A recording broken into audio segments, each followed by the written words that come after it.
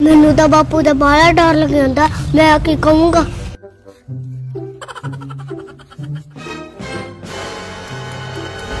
ਉਹ ਹਾਂ ਨੂਰਾ ਤੁਹਾਡਾ ਰਿਜ਼ਲਟ ਦਾ ਕੀ ਬਣਿਆ? ਯਾਰ ਡਾਕਟਰ ਦਾ ਮੁੰਡਾ ਫੇਲ ਹੋ ਗਿਆ। ਉਹ ਤਾਂ ਠੀਕ ਆ ਰਿਜ਼ਲਟ ਦਾ ਕੀ ਬਣਿਆ?